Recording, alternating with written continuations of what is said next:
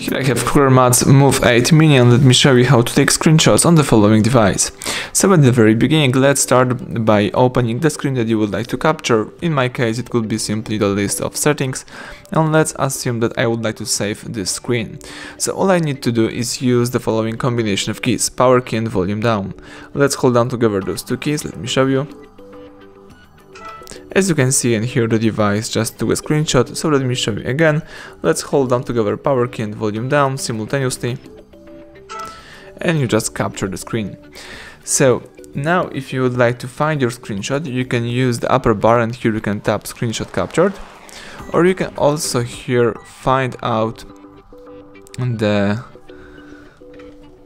gallery mode right here. Here we've got gallery Let's tap screenshot folder and here you can share, edit, delete or do whatever you want with the following pictures. So that's it, everything went well, thank you for watching, please subscribe our channel, leave thumbs up under the video.